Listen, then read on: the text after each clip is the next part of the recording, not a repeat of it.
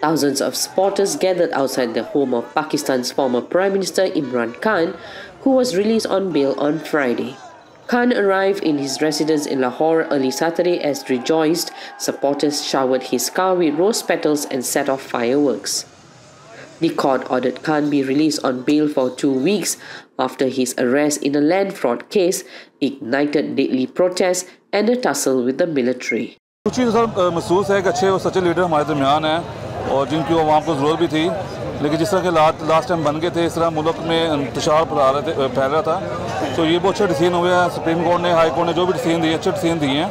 तो उसके साथ आवाम भी खुश है और लीडर भी खुश है हम भी खुश हैं।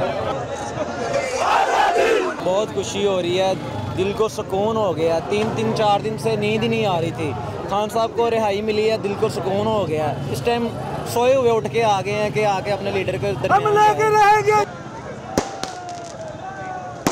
The 70-year-old cricket hero turned politician was ousted as Prime Minister in April 2022 in a parliamentary no-confidence vote and is Pakistan's most popular leader according to opinion polls.